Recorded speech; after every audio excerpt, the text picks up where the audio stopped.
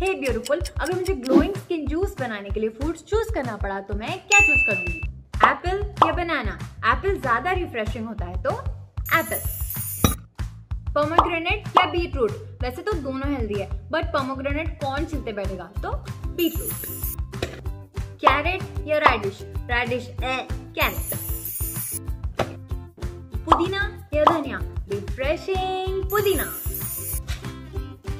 sugar या honey sugar no no no no honey